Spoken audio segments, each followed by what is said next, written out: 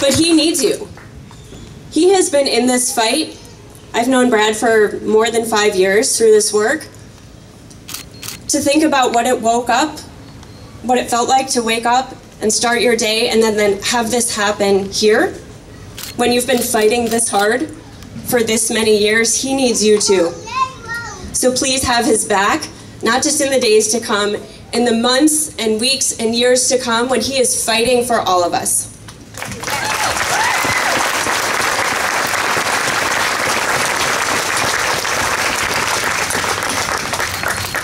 Want to thank Rachel Jacoby. Um, I have a lot. I've only gotten to know Rachel in the, since I think Tuesday or Wednesday. Um, we've had many phone calls since then, but I can say without a doubt that Rachel is the best of Highland Park.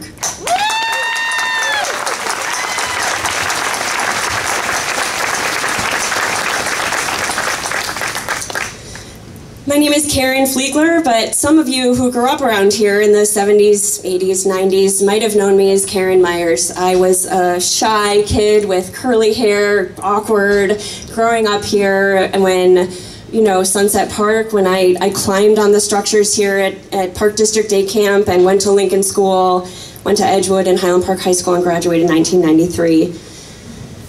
I bring Highland Park with me to you today in my work as co-lead of Illinois Moms Demand Action with my co-lead Valerie Burgess. Five years ago, I stood in front of a room just over in Northbrook after the 2016 presidential election. I was wearing this shirt. I spoke to a room full of people who were terrified and angry about what had just happened in that election. I looked at them and told them that this was the NRA's hire. The NRA spent $50 million on the 2016 election, a number that's dwarfed in today's figures, but shows you exactly what they were doing. Shortly later, when the president met with advisors to select his first pick for a Supreme Court seat, NRA President Wayne LaPierre was directly to his right. Those are NRA hires. Yes, boo, exactly. It's totally okay to boo the NRA. But it's more than that. It's a more complicated story. It's a story that you're hearing many angles on today. And it's about all of us recognizing that the way we live is not tenable. And that it will take all of us to change this. I'm not just blaming Republicans. I am not just blaming Democrats. I'm not blaming independents. I'm not blaming people of a certain gender or people of a certain age. We all have a role to make change.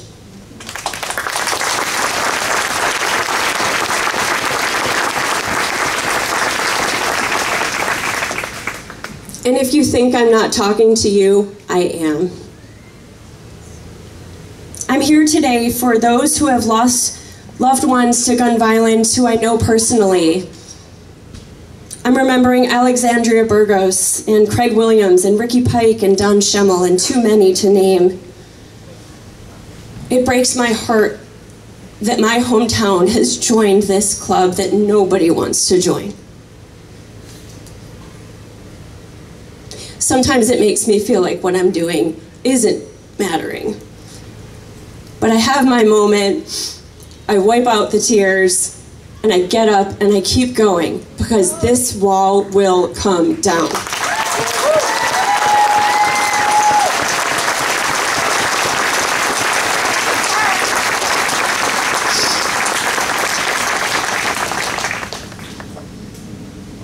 I want to look you in the eye now, though, and say, this will change.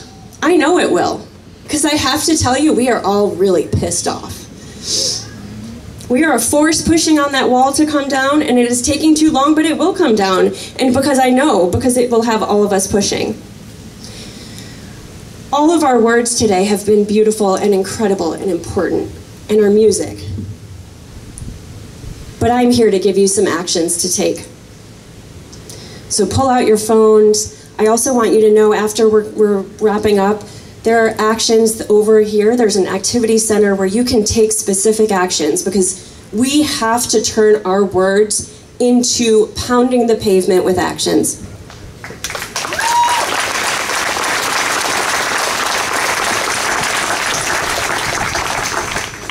Number one, push the Illinois legislature to prioritize gun violence prevention in a special session. This must happen.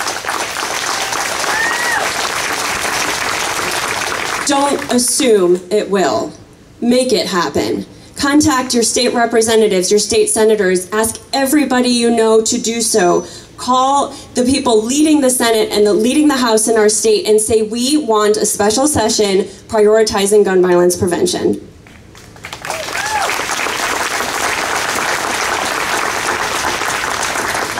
Two, ask your state representatives and senators to vote yes on HB 5522. This bill was put by my friend State Representative Maura Hirschauer and has more than 35 co-sponsors. It will ban military-style weapons, including assault weapons and attachments, 50 gauge caliber rifles and cartridges, and magazines with more than 10 rounds. Weapons of war have no place here.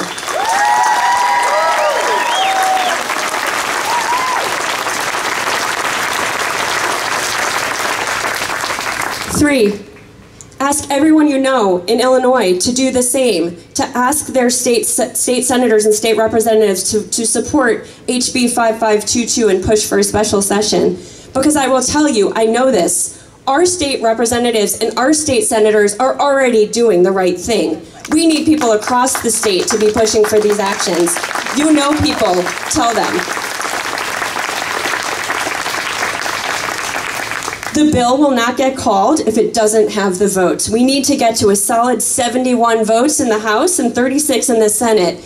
It is going to take all of us to get there. We will do it, but we have to push for it.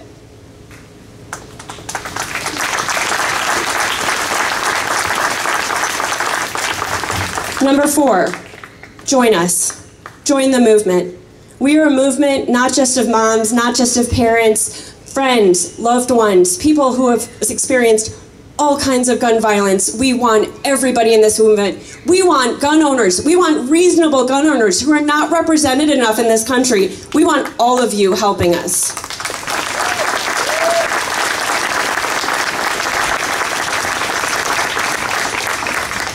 If you want to organize with Moms Demand Action, text the word READY to 64433. Do it now. Join March for Our Lives.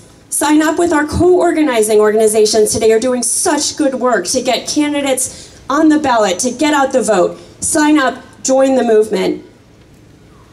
I want you to know that Giffords, Everytown for Gun Safety, GPAC, and more are looking at Illinois gun laws and the gaps and focusing on finding solutions. You are not left alone, but you need to join us.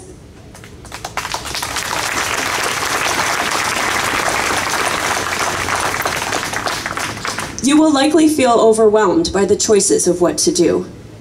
Do it anyways. Go forward. Pick what's right for you. Pick the type of work that's right for you. It's okay if you need to take a break, but keep going. Don't let perfection be the enemy of progress. Pick something and go hard, and don't ever let up. Don't ever, ever give up.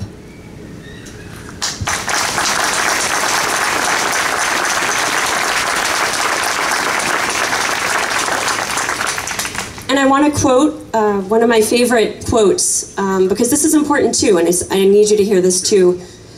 Ana Marquez-Greene was killed in Sandy Hook. She was a little girl, she was full of life.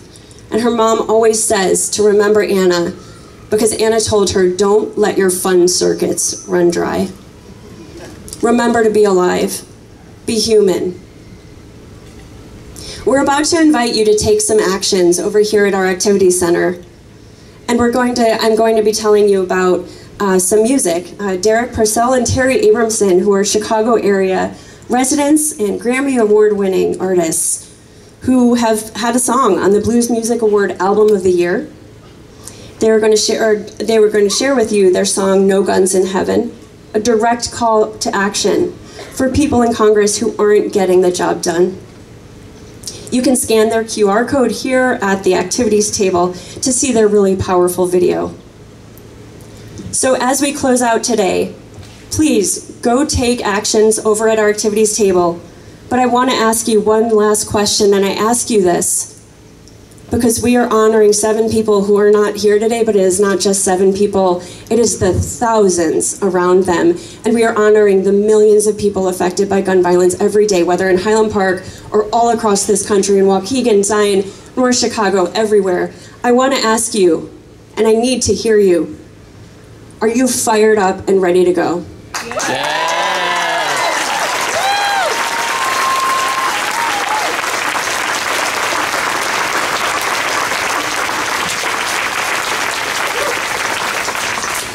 That was pretty good. Are you fired up and ready to go?